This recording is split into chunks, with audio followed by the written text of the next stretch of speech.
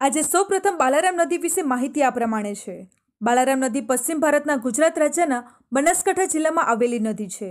આ નદીનું સંપૂર્ણપણે બનાસકાંઠા જિલ્લામાં જ વહે છે અને દાંતીવાડા બંધથી ચૌદ કિલોમીટરના ઉપરવાસમાં બનાસ નદીને મળી જાય છે. બાલારામ નદીના કાંઠે પાલનપુર રજવાડા સમયનો બાલારામ પેલેસ આવેલો છે.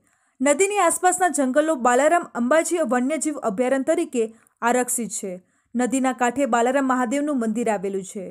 ઉપરવાસમાં ભારે વરસાદને પગલે બાલારામ નદી પણ બે કાંઠે વહી રહી છે. વહીવટ તંત્ર તરફથી સૂચન પણ કરવામાં આવ્યું છે કે નદી કિનારાથી દૂર રહેવા. હાથીદરા અને બાજોઠિયાની નદીઓ પર સજીવન થતાં આજુબાજુમાં રહેતા આદિવાસીઓમાં ખુશીની લહેર જોવા મળી રહી છે. વધુમાં જિલ્લામાં અમીરગઢ તાલુકાના ડાભેલા નજીક કલેડી નદી બંને કાંઠે વહી રહી છે, જે નદી સજીવન થતાં આજુબાજુમાં રહેતા ખેડૂતોના મુખ ઉપર ખુશી જોવા મળી હતી. બનાસકાંઠામાં વરસાદી વાતાવરણ જામ્યું છે. જિલ્લામાં ઠેર ઠેર વરસાદી વરસી રહ્યો છે. ત્યારે બનાસકાંઠા જિલ્લામાં હવામાન વિભાગ દ્વારા આગામી એક દિવસમાં ભારેથી અતિભારે વરસાદની આગાહી કરવામાં આવી છે. નીચાણવાળા વિસ્તારોમાં પાણી ભરાવાની પણ માહિતી મળી રહી છે. બનાસકાંઠા ડેમની હાલની સપાટી તારીખ એકત્રીસ આઠ બે હજાર વીસના સવારના છ વાગ્યા સુધીની અપડેટ વિગતવાર માહિતી આ પ્રમાણે છે. હવે વાત કરીએ દાંતીવાડા ડેમની. દાંતીવાડા ડેમની સંગ્રહ ક્ષમતા ત્રણસો ને ત્રાણું પોઈન્ટ બાસઠ એમસીએમ છે. જ્યારે આજ સવારના છ વાગ્યા સુધીમાં એકસો ને ત્રણ પોઈન્ટ છ પાણીના જથ્થાથી ભરાયેલ છે. દાંતીવાડા ડેમમાં પાણીની આવક એકાવન પોઈન્ટ જીરો ત્ર્યાસી છે, જ્યારે જાવક જીરો પોઈન્ટ જીરો સત્તાવન છે. હવે વાત કરીએ સીપુ ડેમની. સીપુ ડેમની સંગ્રહ ક્ષમતા એકસો ને એકસઠ પોઈન્ટ તેતાલીસ એમસીએમ છે. આજ સવારના છ વાગ્યા સુધીમાં નવ પોઈન્ટ સો એમસીએમથી ડેમ પાણીના જથ્થાથી ભરાયેલ છે. આવક અને જાવક અત્યારે નીલ છે. હવે વાત કરીએ મુક્તેશ્વર ડેમની. મુક્તેશ્વર ડેમની સંગ્રહ ક્ષમતા એકત્રીસ પોઈન્ટ છેતાલીસ એમસીએમ છે. આજ સવારના છ વાગ્યા સુધીમાં એક પોઈન્ટ ત્રણસો ને ઓગણત્રીસ એમસીએમથી પાણીના જથ્થાથી ભરાયેલ છે. અત્યારે આવક અને જાવક નીલ છે. હવે વાત કરીએ તો દિયોદર તાલુકાની. તો દિયોદર તાલુકામાં છેલ્લા ચોવીસ કલાકમાં પંદર એમએમ વરસાદ વરસ્યો છે, જ્યારે કુલ સિઝનનો છસો ને સિત્તેર એમએમ વરસાદ વરસ્યો છે. ટકાવારી મુજબ જોઈએ તો સત્તાણું પોઈન્ટ સિત્તેર ટકા થાય છે. હવે વાત કરીએ ધાનેરા તાલુકાની. તો ધાનેરા તાલુકામાં છેલ્લા ચોવીસ કલાકમાં એકત્રીસ એમએમ વરસાદ વરસ્યો છે, જ્યારે કુલ સિઝનનો પાંચસો ને ચોરાણું એમએમ વરસાદ વરસ્યો છે. ટકાવારી મુજબ જોઈએ તો બાણું પોઈન્ટ એંસી ટકા થાય છે. હવે વાત કરીએ પાલનપુર તાલુકાની.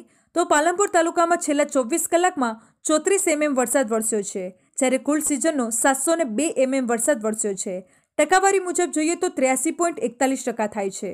હવે વાત કરીએ ભાભર તાલુકાની. ભાભર તાલુકામાં છેલ્લા ચોવીસ કલાકમાં દસ એમએમ વરસાદ વરસ્યો છે, જ્યારે કુલ સિઝનનો છસો ને ઓગણત્રીસ વરસાદ વરસ્યો છે. ટકાવારી મુજબ જોઈએ તો એકસો ને સાત પોઈન્ટ તેતાલીસ ટકા થાય છે. હવે વાત કરીએ લાખણી તાલુકાની, તો લાખણી તાલુકામાં છેલ્લા ચોવીસ કલાકમાં ઓગણીસ એમએમ વરસાદ વરસ્યો છે, જ્યારે કુલ સિઝનનો ચારસો ને છેતાલીસ એમએમ વરસાદ વરસ્યો છે.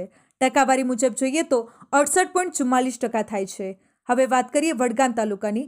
વડગામ તાલુકામાં છેલ્લા ચોવીસ કલાકમાં ચોવીસ એમએમ વરસાદ વરસ્યો છે, જ્યારે કુલ સિઝનનો સાતસો ને ચોસઠ એમએમ વરસાદ થયો છે. ટકાવારી મુજબ જોઈએ તો ત્રાણું પોઈન્ટ જીરો ત્રણ ટકા થાય છે. હવે વાત કરીએ વાવ તાલુકાની.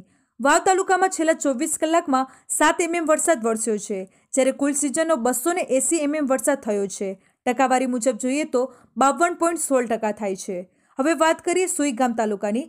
સુઈગામ તાલુકામાં છેલ્લા ચોવીસ કલાકમાં છ એમએમ વરસાદ વરસ્યો છે, જ્યારે કુલ સિઝનમાં પાંચસો ને નેવું એમએમ વરસાદ વરસ્યો છે. ટકાવારી મુજબ જોઈએ તો એકસો ને ચાર પોઈન્ટ બત્રીસ ટકા થાય છે.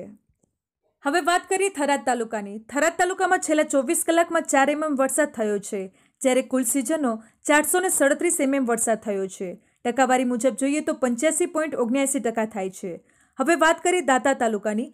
દાતા તાલુકામાં છેલ્લા ચોવીસ કલાકમાં એકસો ને સત્યાસી એમએમ વરસાદ થયો છે, જ્યારે કુલ સિઝનનો નવસો ને બાવન એમએમ વરસાદ વરસ્યો છે. ટકાવારી મુજબ જોઈએ તો એકસો ને છ પોઈન્ટ ત્રેવીસ ટકા વરસાદ વરસ્યો છે.